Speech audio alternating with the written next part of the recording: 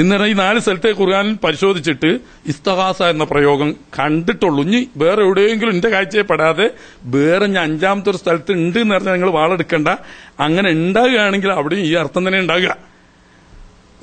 വല്ലതീ കാലലി വാരിദൈഹി ഉഫില്ലക്കുമാ മാതാപിതാക്കളോട് പറയുന്ന ഒരുത്തൻ ഉഫില്ലക്കുമാ ഛേ നിങ്ങൾ രണ്ടുപേരും ആ തൈതാനിനി എന്നോട് നിങ്ങൾ വാഗ്ദാനം ചെയ്യുന്നു. അൻ ഉഹ്റജ മരിച്ചതിന് ശേഷം രണ്ടാമത് ഖബറിൽ നിന്നിട്ട് പുനർജീവിപ്പിക്കപ്പെടുമെന്ന് വക്കത് ഖലത്തിൽ ഖുറൂനുമിൻ കബരി എന്റെ മുമ്പ് എത്ര തലമുറകൾ കഴിഞ്ഞുപോയി അവരാരും തിരിച്ചു വന്നില്ലല്ലോ. പിന്നെ ഞാനാണോ മരിച്ചതിന് ശേഷം തിരിച്ചു വരുമെന്ന് നിങ്ങൾ പറയുന്നത്? വഹുമായസ്തഗൈസാനില്ല ഈ മാതാപിതാക്കൾ അള്ളാഹുവിനോട് സഹായം തേടുന്നു. അങ്ങനെ സഹായം തേടിക്കൊണ്ട് അവനോട് അവ- അവനോട് അവൻ അവർ ഉപദേശിക്കാണ് വൈലക്ക എടോ മനുഷ്യ ആമിൻ. അള്ളാഹു ഒരുവനാണെന്നും അവൻ മരിച്ചുപോയവരെ ജീവിപ്പിക്കുമെന്നുള്ള കാര്യം നീ വിശ്വസിച്ചോ? ഇന്ന ഹഖുൻ. മരിച്ചവരെ രണ്ടാമത് ജീവിപ്പിക്കുമെന്നും അവരുടെ അമലുകൾക്ക് പ്രതിഫലം നൽകപ്പെടുമെന്നും പറഞ്ഞത് സത്യമാണ്. ഫയഖൂലു. അപ്പോഴും ഈ മനുഷ്യൻ പറയും മഹാദാ ഇല്ലാ സാത്തീറുല്ലവലി ഇതൊക്കെ മുൻഗാമികൾ പറയുന്ന ചില കെട്ടുകഥകളല്ലാതെ മറ്റൊന്നുമല്ല. ഇവിടെ ഇസ്തഗീസാനില്ല അള്ളാഹുവിനോട് സഹായം ചോദിക്കുക ഇപ്പൊ ഈ നാല് സ്ഥലത്ത് രണ്ട് സ്ഥലത്ത് നേരിട്ട് അള്ളാഹുവിനോട് സഹായം ചോദിക്കുക والذي قال لوالديه اف لكما تعدانني ان اخرج وقد خلت القرون من قبلي وهما يستغيثان الله ويلك امن ان وعد الله حق فيقول ما هذا الا ساطير الاولين احقاف 17 സൂറത്തുൽ അഹ്ഖാഫ് പതിനേഴാമത്തെ ആയത്ത്. ഇങ്ങനെ ഈ നാല് സ്ഥലത്ത് ഖുർആാനിൽ ഇസ്തഗാസ പ്രയോഗിച്ചത് രണ്ട് സ്ഥലത്ത് പടപ്പുകളോട് സഹായം ചോദിച്ചതിനെ പറ്റിയാണ് അതിന് ഇസ്തൻസറ എന്ന് ഖുർആൻ തന്നെ തഫ്സീർ ചെയ്യുകയും ചെയ്തു. പിന്നെ രണ്ട് സ്ഥലത്ത് അള്ളാഹുവിനോട് സഹായം ചോദിച്ചതിനാണ് അതിന് അള്ളാഹു സുബാനുവത്തേല ഒമൻ നസറു ഇല്ലാമിൻ എന്തില്ല എന്ന് അവിടെയും ഇസ്തൻസറ അതേ അർത്ഥം തന്നെയാണ്.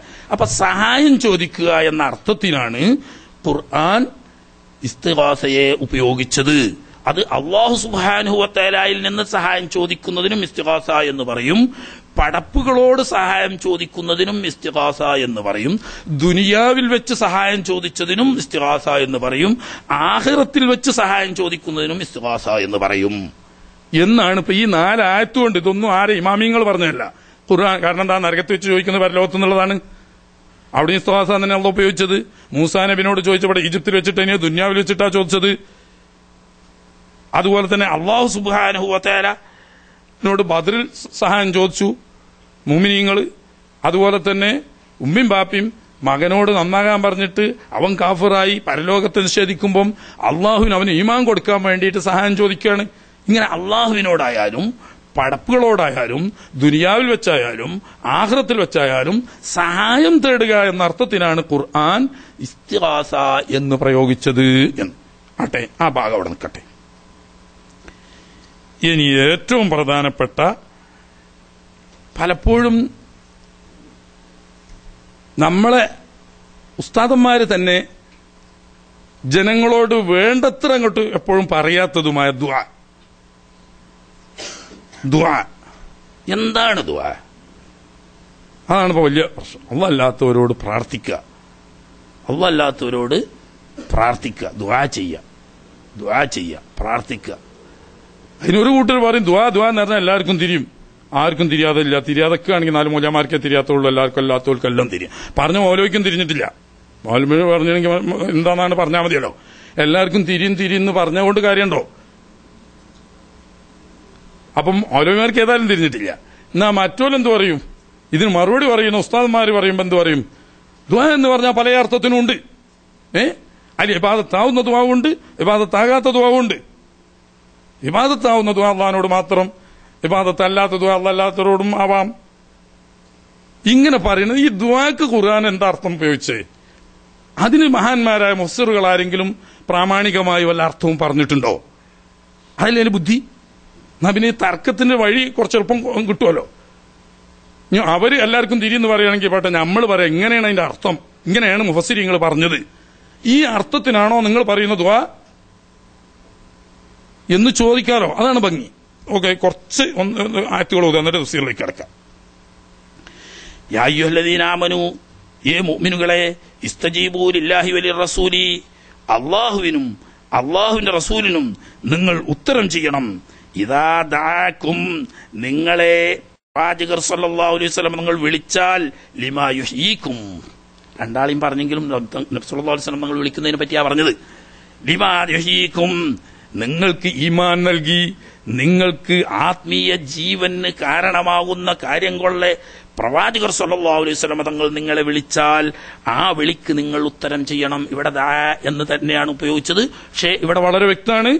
വിളിക്കുക. എന്തിനു വിളിക്കുക? നിങ്ങൾക്ക് ഈമാനും അത് മുഖേന ആത്മീയ ജീവനും ലഭിക്കാൻ ആവശ്യമാവുന്ന കാര്യത്തിലേക്ക് പ്രവാചകർ സ്വല്ലാ അലൈഹി തങ്ങൾ വിളിച്ചാൽ നിങ്ങൾ ഉത്തരം.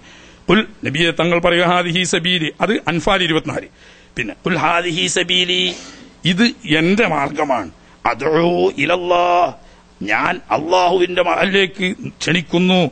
അല ബസീറത്തിൻ. ശരിയായ ഉൾക്കാഴ്ചയോടുകൂടെ. അല ഞാനും വമനിത്തബാനി എന്നെ പിൻപറ്റിയ സത്യവിശ്വാസികളും ശരിയായ ഉൾക്കാഴ്ചയോടുകൂടി അള്ളാഹുവിന്റെ മാർഗത്തിലേക്ക് അവന്റെ ഇബാദത്തുകളെ ക്ഷണിക്കുന്നു.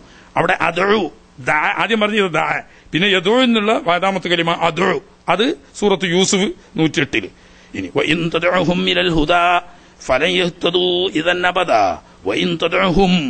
നിങ്ങൾ അവരെ വിളിക്കുകയാണെങ്കിൽ ഇലൽ ഹുദാ ഹിദായത്ത് കൊള്ളെ. ഫലയുഹത്തതു യഹ്തദൂ ഒരിക്കലും അവർ ഹിദായത്താവുകയില്ല. എന്ന്.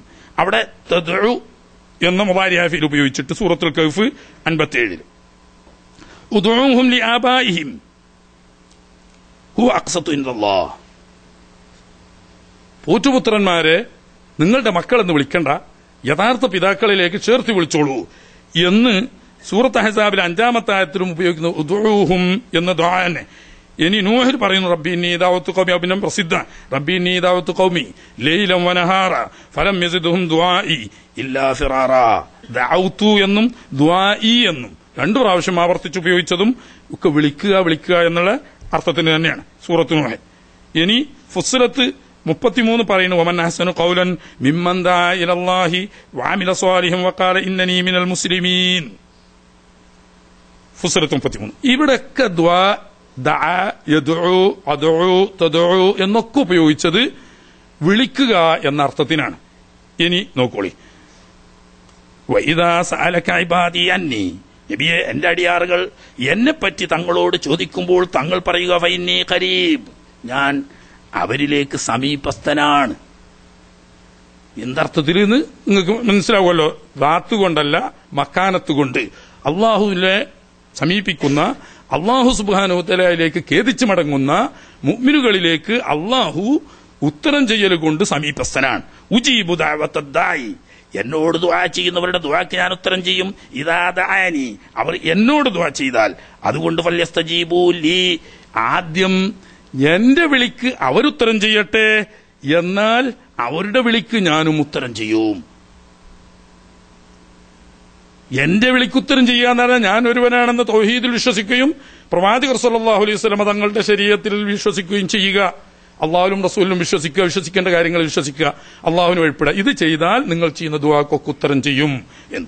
ഇവിടെ പ- ഉജീബു ദഅവത്ത ദാഇ എന്ന് പറഞ്ഞ ദ്വാ അവിടെ ഇബാദത്തിന്റെ അർത്ഥത്തിനുള്ള ദുവാ തന്നെയാണ് പ്രാർത്ഥന എന്ന അർത്ഥത്തിലുള്ള ദുആ. അതിൽ തർക്കില്ല സൂറത്തുൽ ബക്കറ നൂറ്റി എൺപത്തി ആറാണ് ഇനി പറയുന്നു